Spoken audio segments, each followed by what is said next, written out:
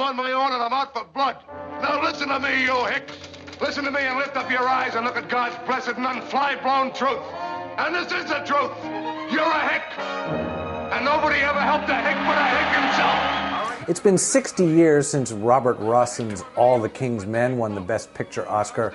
But let's face it, political corruption never goes out of style. All the King's Men was based on the Pulitzer Prize winning novel by Robert Penn Warren, which was itself based on the real life career of Louisiana Governor Huey Long. It tells the story of Willie Stark, who goes from crusading reformer to a monstrous virtual dictator. I shall live in your right and your will.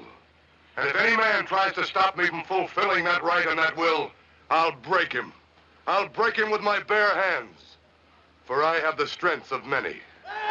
Robert Rossen was a terrific director, somewhat underrated, I think, in film history. And All the King's Men is full of great stuff beautiful, deep focus, black and white cinematography, and a lot of rich, ripe themes. There's an element of Southern Gothic melodrama, there are nice insights into the world of backroom politics and journalism, class relations, and the relations between the sexes in the New South. And there's a handful of memorable supporting performances, chief among them the great Mercedes McCambridge as the picture's resident fast talking dame. I take notes For whom? for those whom pay me. But what really makes this movie great is Broderick Crawford's performance as Willie Stark. Crawford was a terrific character actor with a wonderful and varied career, but this one, he really raises his performance to Shakespearean levels. He shows also the transformation of Willie Stark. He starts out as an earnest and humble populist crusader, trying to take on the forces of corruption and graft and do some better things for the people. But as he goes along, he acquires a taste for power, a taste for liquor, and a sense of his own magnetism. You see, Jack, I learned something. Now what?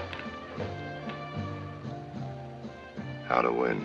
He becomes a megalomaniac, but he doesn't lose his connection with the people. In fact, he accomplishes a lot of really great things for them. And here's the interesting tension in the movie it shows how the impulse to do good, to help, to be a leader is tied up with all of this other stuff. That to accomplish really good things in society, you sometimes have to reach down into the darkest depths of your character. You sat in that big easy chair of yours for 30 years and played at being a judge. Then all of a sudden I came along and put a bat in your head and I said, go ahead, Judge, start swinging. And you did, and you had a wonderful time, but now you're scared. The fact that Willie Stark is both genuinely heroic and absolutely monstrous that makes him such a compelling figure, and that makes All the King's Men ultimately one of the great political tragedies shown on screen. Could have been whole world, Willie Stark. Whole world, Willie Stark. Why does he do it to me? Willie Stark. Why?